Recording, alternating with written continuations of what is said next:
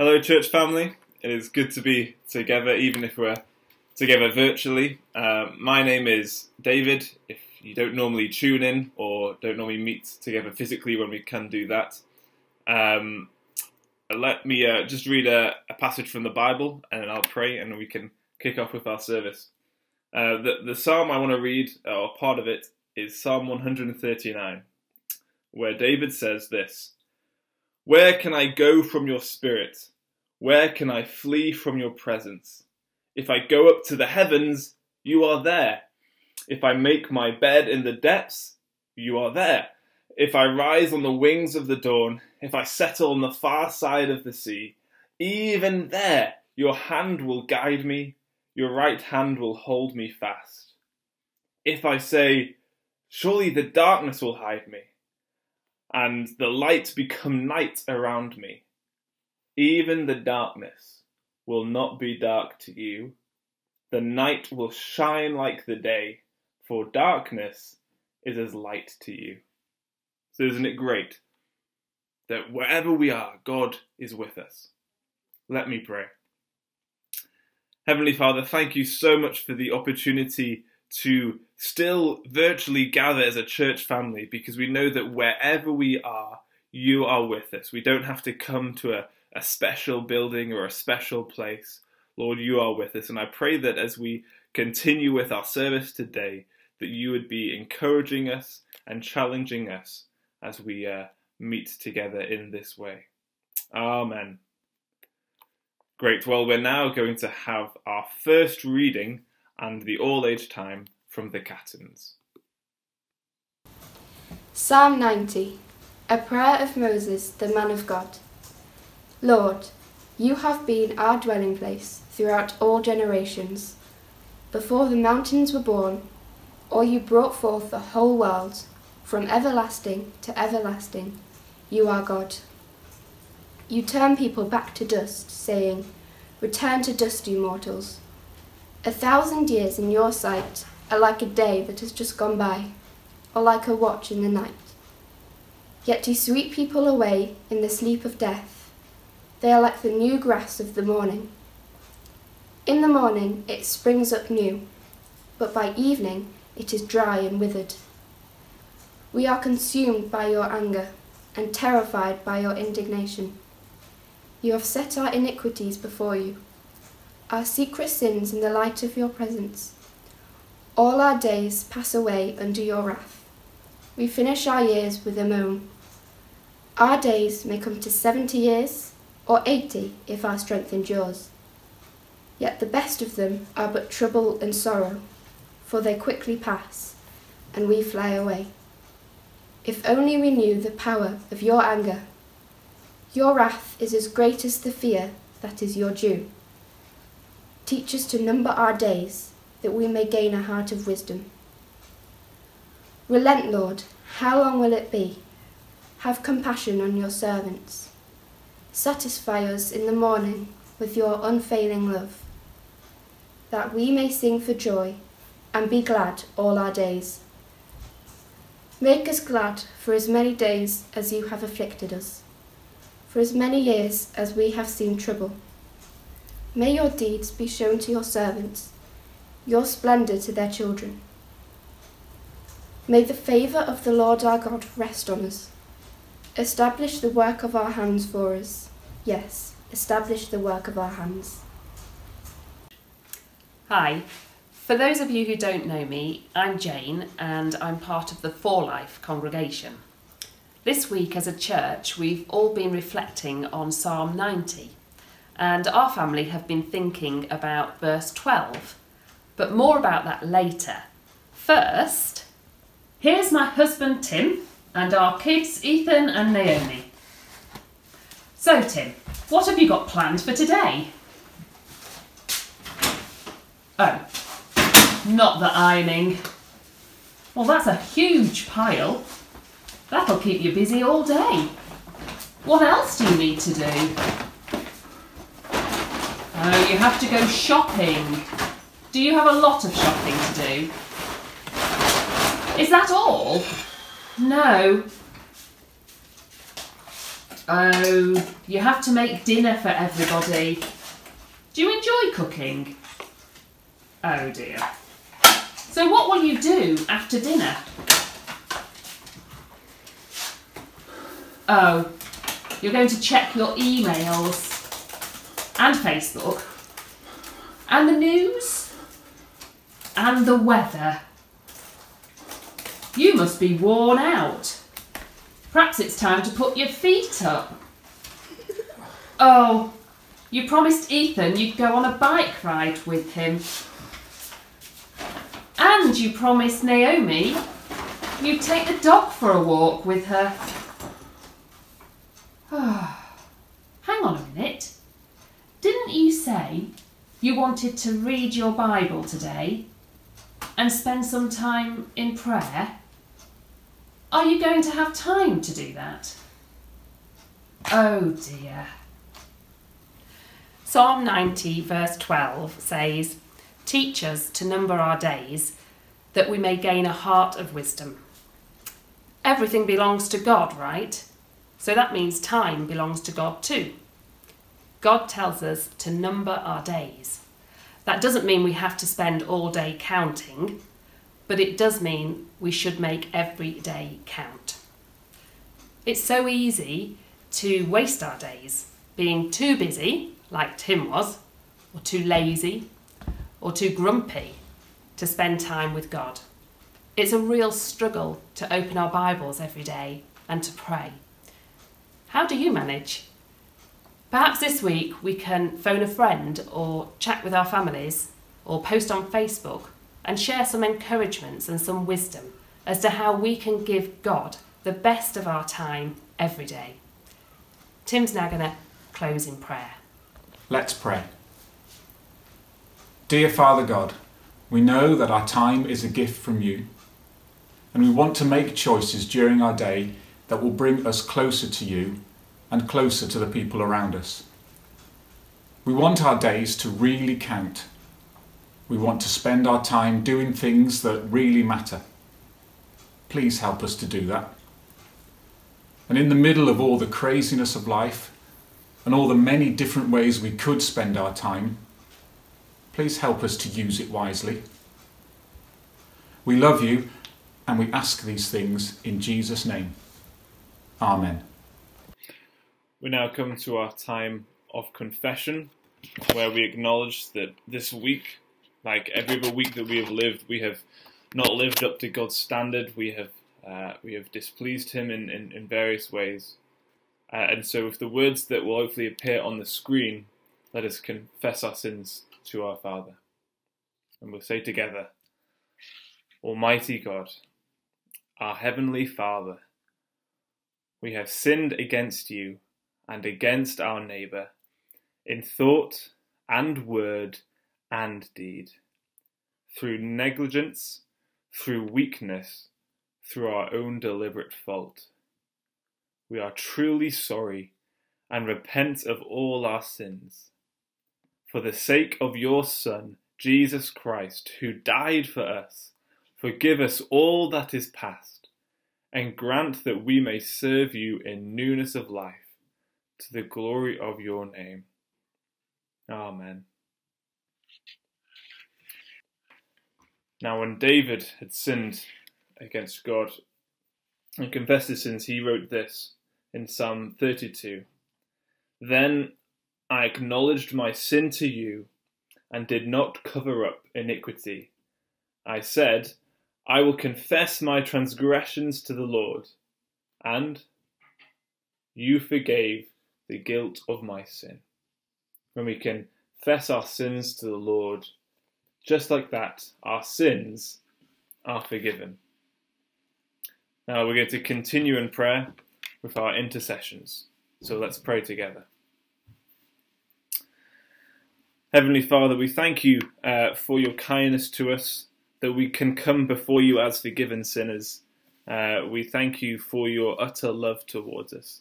And on the basis of that love, Father, we pray uh, for the various things. And, and for, for starters, Lord, we pray for the USA, whose uh, cases of coronavirus have now uh, exceeded that of China. Lord, we pray for that country as they deal with all these cases. Lord, please would you watch over them, protect them, help them to uh, keep their people safe.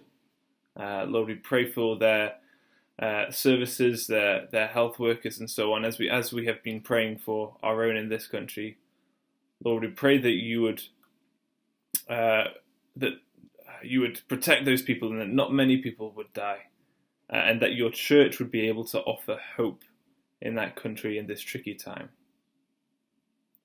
And then, Lord, uh, more close to home, Lord, we pray for those people in our church family who are lonely at the moment um, and who are, are struggling with not having too much social interaction.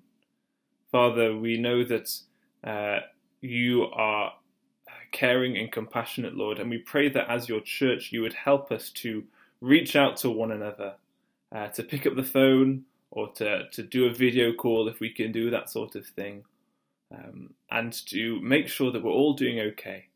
Lord, please help us to come together now more than ever as a church in support of the lonely people. And lastly, Lord, we pray uh, for those people right now who will be um, having financial difficulties, uh, Lord, where work is dried up for so many of us. Father, we pray that uh, we would be able to trust in you uh, and not get too worried or anxious, but know that just in the same way that you clothe the flowers of the field with beauty and you provide food for the birds of the air, so you also you will watch over and care for your loved ones. Father, we pray uh, for the, the, government as they uh, are kindly uh, offering much uh, money and help and grants to, to various workers. But Father, we pray that in, in this uh, time of financial difficulty that we would be able to reach out to you uh, and to put our trust more and more on you and depend on you. And we pray these things for the glory of your name. Amen. And now we're just going to close with the words that our Saviour taught us in the Lord's Prayer. So let us pray together. Our Father in heaven, hallowed be your name. Your kingdom come, your will be done, on earth as in heaven. Give us today our daily bread, and forgive us our sins, as we forgive those who sin against us. And lead us not into temptation, but deliver us from evil. For the kingdom, the power, and the glory are yours, now and forever. Amen. We're now going to have our second Bible reading, and then Andrew is going to preach the gospel to us. Matthew 3, verses 1 to 17. In those days, John the Baptist came, preaching in the wilderness of Judea, and saying, Repent, for the kingdom of heaven has come near. This is he who was spoken of through the prophet Isaiah. A voice of one calling in the wilderness, Prepare the way for the Lord, make straight paths for him. John's clothes were made of camel's hair, and he had a leather belt around his waist. His food was locusts and wild honey. People went out to him from Jerusalem and all Judea and the whole region of the Jordan. Confessing their sins, they were baptized by him in the Jordan River. But when he saw many of the Pharisees and Sadducees coming to where he was baptizing, he said to them, You brood of vipers, who warned you to flee from the coming wrath? Produce fruit in keeping with repentance. And do not think you can say to yourselves, We have Abraham as our father. I tell you that out of these stones God can raise up children for Abraham. The axe is already at the root of the trees, and every tree that does not produce good fruit will be cut down and thrown into the fire. I baptize you with water for repentance, but after me comes one who is more powerful than I, whose sandals I am not worthy to carry. He will baptize you with the Holy Spirit and fire. His winnowing fork is in his hand, and he will clear the threshing floor, gathering his wheat into the barn and burning up the chaff with unquenchable fire. Then Jesus came from Galilee to the Jordan to be baptized by John. But John tried to deter him, saying, I need to be baptized by you, and do you come to me? Jesus replied, Let it be so now. It is proper for us to do this to fulfill all righteousness. Then John consented. As soon as Jesus was baptized, he went up out of the water. At that moment, heaven was opened, and he saw the Spirit of God descending like a dove and alighting on him. And a voice from heaven said, This is my Son, whom I love. With him I am well pleased. In a moment, I'm going to pray, but just to say a couple of words of introduction. Uh, the first is that although we meet in very unusual circumstances, it's great to remember that when God's word is read and taught, uh, then what we're hearing is the real voice of our loving Heavenly Father. So we're used to saying, when two or more are gathered in my name, there I am in the midst of them, about church. Maybe this morning it's helpful to remember that when God's word is read, then He, the living God of the universe, speaks. So whether you and I are on our own at this point or with others, if we have the Bible open, we're listening to God's fatherly voice. And that's a great encouragement. Secondly, just to notice that we're just keeping on with our normal series of Bible teaching here at Houghton and Kingmoor. Uh, we believe that we want to teach through the whole Bible, the bits we know already and the bits we don't, the bits that are slightly easier and slightly harder to teach. We just teach the whole Bible here. That's what we do. Because in teaching the whole Bible, then we hear the whole voice of our Heavenly Father. So our plan in the run up to Easter was to come back to Matthew's Gospel that we were uh, enjoying back in December. That's why we're back in Matthew's Gospel this morning. I'm now going to pray. Let's all pray together. Heavenly Father, we praise you that your voice, your word is powerful, that it doesn't return to you empty, but it accomplishes the task that you've given it. Thank you that now, as we have listened to the reading and as we study together, you, the living God, are speaking. We pray you make us your hearing, listening, and obeying people. And we pray that in Jesus' name. Amen. I want you to imagine that you've had a phone call and you've been told very suddenly that the Queen is coming to visit your house on Thursday. Now, I know that wouldn't happen in the time of COVID 19, but I want you to imagine it.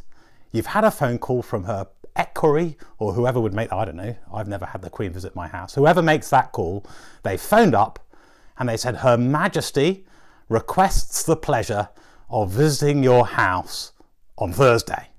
And I want you to imagine what would you do? How would you feel? Now, if your house looks anything like ours, there might be a hint of panic. Presumably, you'd want to get your house cleaned up and dolled up. Cleaned up, then remove all the dirt. You might want to check the carpets, hoover that bit there, uh, get out that stain there. You'd want to get it all cleaned up, uh, and then you'd want to get it dolled up. Uh, those, those really precious treasures, uh, your family's favourite photos, they'd be quickly framed, wouldn't they? They'd be put on the wall in prominent places in the hope that Her Majesty might say, Who's that? And you could say, Oh, that's my hero, you know, my, my great uncle who won the Victoria's Cross, or so on and so on. You'd get cleaned up and you get dolled up. And uh, you see that. You might remember some times in your head where we've seen people getting ready for the Queen to arrive.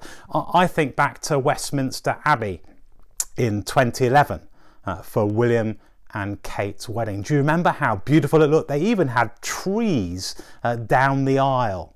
And uh, up on that big communion table right at the front, they've got all their gold treasures, their um, crosses and their candlesticks and their, and their plates and things. Because Her Majesty was coming, they got cleaned up and doled up. Now, these verses in Matthew chapter 3 don't focus on Queen Elizabeth II arriving, but on someone much more important. They focus on God's chosen king arriving. And through John the Baptist, the call comes out to everybody Are you ready? Are you ready? He's coming. Or in verse 3's words, prepare the way for the Lord. Get ready for God to arrive in the person of the Lord Jesus Christ. How would you feel if God was going to turn up to your house on Thursday? God, who knew every single thing about you, your past, your present, your future, the words you had said and hadn't said, the thoughts you'd thought. How would you feel if God was going to turn up? The need to be ready would be much more urgent than if just royalty were coming. Because God would see much more than external dirt. He'd see the thoughts of our hearts. They'd be open before Him. Anyway, hold that thought of the Queen coming because that encapsulates these verses. I think you see three little things in these verses the fact that we need to repent, the, the test for repentance, and the solution for the repentant. So, the need of repentance, the test of repentance, and the solution for the repentant. Let's look together then at verses 1 to 6, the need for repentance. It's very clear, isn't it, there in verse 2. Repent, for the kingdom of heaven is near. And it's explained in verse 3, as we've already seen, by preparing the way for the Lord. How do you get ready for God's arrival in the person of the Lord Jesus Christ? You repent, verse 2, or you confess your sins, verse 6. You clean yourself up to be ready for God. But the problem is, repent is a Bible word, isn't it? It's one of those words that many of us have heard many times. But how do you actually understand it? What does it mean? Well, let me give you three words beginning with C. We've got some pictures uh, to go with them. Uh, three words beginning with C uh, that explain what repentance isn't and what it actually is. You need to do confession, that is, you need to admit you're wrong, but you need to go further, to quote the government in the recent weeks. We need to go further. Uh, you need to do contrition. Contrition is being sorry that you're wrong, but you need to go further. Repentance is change. Repentance is intention not to do something again. Let me give you a picture of each of those so you can understand what actual repentance would look like. This is so helpful, by the way, for those of us who are tuning in who perhaps are looking into Christianity, perhaps are turning uh, and, and considering life, the universe, and everything in these times when, when death feels more real, death feels more likely. If, you're thinking these things through, this is particularly helpful because Jesus' first recorded words in the Bible repent, for the kingdom of God is near. This is going to be really important. So here we are confession, contrition, and change. Confession on its own isn't repentance. And the image for that is a footballer um, who's been called by the ref for a late tackle. And the, and the footballer says, oh, I'm sorry, ref. And all he's doing is he's just trying to get the referee off his back. He's maybe trying to avoid the red card. Although you can see from the picture that in this person's case, uh, he didn't manage to avoid it. Many of us can think of footballers who are uh, prone to what's known now as a professional foul. That they'll do it, they'll get caught doing it, they'll say sorry, but you know flat out that in a month's time, in the same situation, they'd do it again. It's not repentance just confession. Sorry, ref. No intention to change lives. That wouldn't be a Christian, would it? What about confession and then contrition? That, I think, is like a dieter uh, with a chocolate cake on their lap. Uh, I think most of you know me well enough to know that I'm a uh, self confessed chocoholic, so I have some sympathy here. But the dieter who feels sorry about the chocolate they ate yesterday and feels guilty about the fact that they're now eating chocolate, has confessed, that's the sorry, and has the guilt, that's contrition, that's the regret. But as you can see from this photo, they're still eating the chocolate. So they've confessed and they're sad, but they haven't changed their life. I think of a young man I used to know many years ago, used to come on summer camp every year used to love the Bible teaching, used to really enjoy being around all of us on that camp. Was an amazing place. And every year, in two or three of the talks, he would be weeping, weeping over his sin. But the problem is, he never put his trust in the Lord Jesus Christ and he never changed his life. So he confessed and he was contrite. He just didn't repent. He wouldn't actually change his life. Well, John the Baptist, the message is simple repent, for the kingdom of heaven is near. And that's why there's the third C confession, contrition, change. Change is the intention not to do it again. Change is vital to true repentance. It's the turning round through 180 degrees. Now, I remember when I uh, remember I, I, used to be a, a, a, cadet officer when I was a school teacher. Uh, we had a school cadet force, and you get sent away on a weekend to to learn um, how to put your uniform on, how to wear your cap, and all those sort of things, how to salute. And I still remember being taught how to do an about turn uh, by a sergeant who'd got a new pair of shoes on. So he came out to demonstrate to us how to do an about turn, and he'd got these really shiny shoes on, and he'd put those clicky things, those metal clicky things, under his heels and under his toes, and he hadn't done an about turn with those on. So he marches down in front of us, goes for a spin, and because of the metal, he spins way out of control and nearly falls over on the parade ground, and it was hysterical. Uh, you can see from the soldier in this photo that, that uh, he, he has at least repented 180 degrees compared to everybody else. Imagine trying to uh, about turn without changing direction. Makes no sense, does it? John the Baptist says, God's coming. God's coming. You've got to repent. Uh, that does include admitting you're wrong. Uh, it does include being sorry that you're wrong, but admitting it to the ref being sorry as you eat the chocolate cake and not repentance. A resolution to live differently. That's what John the Baptist is talking about. That's what Jesus calls all of us to do to repent.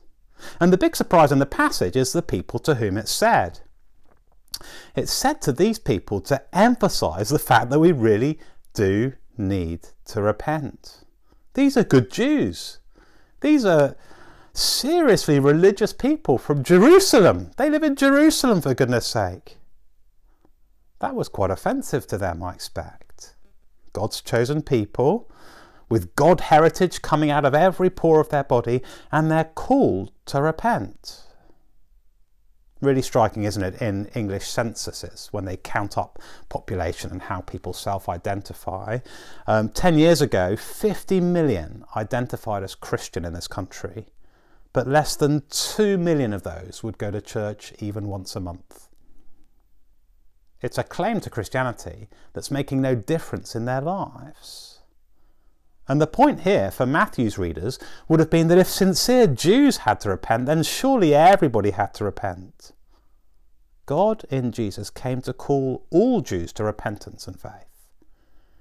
And in fact, everybody, all of absolutely anybody and everybody to repentance and faith. God's coming. There's a need for repentance. But secondly, there's a test for repentance, verses 7 to 12. And John the Baptist here is slightly mocking the religious people, isn't he? Here you've got the Pharisees uh, and the Sadducees. These were religious and, and political groups. Uh, verse 7 Many of the Pharisees and Sadducees coming out to where he was baptizing. And he says to them, who warned you to flee? He, he, he's, he's being quite sharp with them. But you see, they thought they were right with God. And so they didn't think they needed to repent. And how does John the Baptist teach us to understand if we really have done that? Verse 8 produce fruit in keeping with repentance. Verse 10 the axe is laid to the root of the tree and every tree that does not produce good fruit will be cut down. Twice in just these few verses, the test for repentance is fruit. That is, we're living differently. So if you and I are Christians who've actually repented, we'll be, we'll be able to look through each day and through each action and through each thought and through each decision and think, I would do that differently if I wasn't a Christian. I would spend my money differently if I wasn't a Christian. I'd spend my time differently if I wasn't a Christian. I would speak differently The way I play football would be different if I wasn't a Christian. I might try and get away with a foul. I might not uh, congratulate someone for scoring a good goal. We should be able to look at each bit of our life and say, this is where I'm living differently. Uh, I'm not just confessing, and I'm not just contrite, I'm actually changing. So the fruit could be gentleness, patience, peacefulness, mercy, purity, and righteousness, all of which occur in Matthew chapter 5 and the Sermon on the Mount. The fruit will certainly be loving Jesus and living to serve Him and not ourselves in sacrifice for others without counting the cost. And do you see why it matters? It matters, verse 10, because the fruitless tree will be cut down. One day, everyone will either be burnt up or gathered into God's barn, verse 12. That's the day of wrath, verse 7, that's coming, that the religious people in John the Baptist's time failed to flee from. Really striking, isn't it? Jesus is going to come back one day, and he's going to come back like a thief in the night. We're not going to know when he's going to come. And you and I have just recently had a very vivid illustration of how that's going to feel. Because two months ago, who could have imagined that the world would feel like it does today? None of us. And many of us would go back a month or two and think, I'd love to have done that differently if I knew this was coming. But it's been a total surprise. So I didn't do it. Well, the end of the world will be a total surprise too when Christ returns in all his glory with a trumpet voice and the archangel. It would be really tragic if some of us said that day, Oh, I didn't think it was coming. So I never got ready. John the Baptist says, Prepare the way for the Lord. How do we prepare it? We repent. That's what we all need to do. And what's the test for that? It's fruit. You'll know if you've repented because you'll be living differently. And there is a little warning in here, isn't there? These Jews thought that because they were religious, they didn't need to repent. There's a great tragedy that there are many who would sit in pews in church buildings up and down our land who again think that they're okay because they're going to church. Think that they're okay because they live in a Christian country, whatever that means. Think that they're okay because their mum was a Christian or their gran was a Christian. But there are no such things as grandchildren of Christians. They're not Christians. We have to each repent. And just because your granny was baptized when she was a baby doesn't make any of us a Christian. We each have to turn in personal faith and trust in the Lord Jesus Christ. Today will be a great day to do that. Be a great day to do that. You'd be really welcome to contact me afterwards, and I'd love to pray with you, talk with you, explain it all to you, and indeed do my very best to answer all the questions you might have.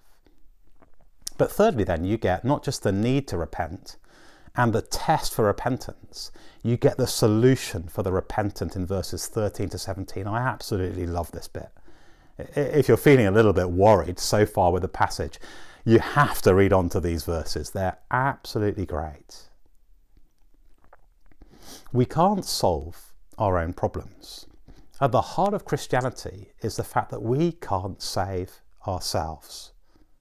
We need God to do that. That's the healthy self despair that Jesus is seeking to bring about and the beginning of Matthew chapter 5. Blessed are the poor in spirit, those who know they can't do it. And John the Baptist isn't the end of the story because look at verse 11. One more powerful is coming. Baptism with the Holy Spirit will be available for fruitful repentance. All the way through Matthew, there's been this emphasis on fulfillment. Fulfill, fulfill, fulfill. In this passage, verse 3, uh, Isaiah, verse 4, Elijah, bit of two kings and this judgment theme throughout the whole Old Testament. And in verse 15, we see that Jesus' baptism fulfills all righteousness. Jesus is embodying the true Son of God, Israel. Remember in, in the previous chapter that we saw at Christmas time, Jesus goes to Egypt, for example, and then they come back from Egypt to fulfill out of Egypt I have called my son. And Jesus now is baptized to fulfill what God's people, God's Son, Israel should do. He fulfills all righteousness. Here you see the Pharisees out in the desert failing to repent. And you see Jesus Christ in the desert fulfilling all righteousness. And heaven breaks open, and God the Father says, This is my Son whom I love. With him I'm well pleased, verse 17. This is Jesus doing for Israel what Israel could not do for themselves. And in fact, he's doing it for everyone who will turn to him. That's the call and the offer to all. It's worth just being really clear that the Holy Spirit doesn't come now on Jesus because he was absent beforehand. No, the visible giving of the Spirit here is part of the public commissioning and equipping of Jesus as the perfect Israel, ready for the ministry that we're going to see next week as he's banished and tempted in the desert. One of my very favourite passages, but that's next week. The focus here has been on repentance, and it's now on Christ's perfection. What, why is that? Well, the need for repentance reminds us that none of us are acceptable to God the Father. And the baptism and affirmation of Jesus show that he is now acceptable to God the Father. He always was, and he is, and it's proved in public. So go back to the Queen visiting you on Thursday. You've got the call from Buckingham Palace. It's Her Majesty's Equerry here. I'm coming round on Thursday, and you've put down the phone and you're in a total panic because the wall needs painting and the carpet's not quite right and and and and and and and and and you've got this great big list. What am i going to do to get ready for her majesty coming round on thursday? And you panic. I mean who wouldn't panic and you start trying to get cleaned up, but it, you can't do it. You start looking in the shelves and in, in your drawers for all those treasures to put out to impress Her Majesty, and you can't find them. And then on Wednesday, a really big car pulls up outside your house, and you think, oh no, she's come a day early. But it's Prince Charles. It's Prince Charles. And he knocks on your door and he says, Hi there, uh, Mum's coming round tomorrow, isn't she? Yeah, I'm terrified. How can I make my house ready? Calm down. Don't worry. I've been getting my bedroom ready for my mum for over 60 years, and I'm here to help. Let me show you how to make your house ready for mum. Can you imagine how that would be? I know my mum I know just what she wants. I've brought loads of my treasures from Highgrove. We can put them out for you. I brought some great paintings and some beautiful silver plates. I've even brought a handmade Italian suit that you can wear and a really nice tie. Let me do it for you. I can make you acceptable to my mum. That's what Jesus does, isn't it? In his perfection, in his obedience, he is acceptable to God the Father. He's the perfect Israel. He's doing for those people then and anybody who trusts in him today, he's doing for us what we could never do for ourselves. That's why we sing very often in church, before the throne of God above. Do you remember?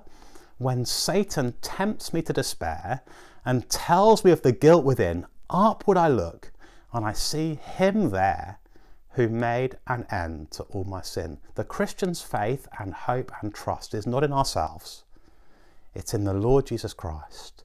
We express that by repenting, confessing, being contrite, and changing from our sins. We express it by looking at Jesus Christ's perfection, by hearing that Father's voice, This is my Son whom I love, and putting our trust in Him and not ourselves. And confident in Him, we pray for ongoing fruit of that repentance in changes all the way across every part of our lives. In a minute, uh, there's a chance for you to listen to some of the songs that we've suggested that fit with this Bible passage. You can see them uh, linked into uh, on the screen, find them online. Uh, why not enjoy some of those words? Um, if you're with someone, why not turn to them and discuss uh, what we've heard? Um, if you're not with someone, why not pick up the phone or, or send a text? Uh, and uh, it's great to let the Word of God dwell in us richly as we teach and encourage each other with all His wisdom. But anyway, as we close our formal time together here, I'm just going to pray for us all. Let's bow our heads and pray. Our loving Heavenly Father, thank you so much that we are just like every single other human being in the whole wide world. We all need to repent. And thank you so much, our Father, that the Lord Jesus Christ uh, does for us what we could never do for ourselves. Thank you that He's the perfect Israel, the perfect Son. And thank you that trusting in Him makes us perfect in your sight. Father, we pray for each other that in these difficult times that we'll be every day uh, turning to the Lord Jesus Christ and not just confessing our sins and not just being sorry about our sins with contrition, but seeking change as we're inspired by Him, as we know the power of your word and your Holy Spirit in us. We pray this all in Jesus' name. Amen.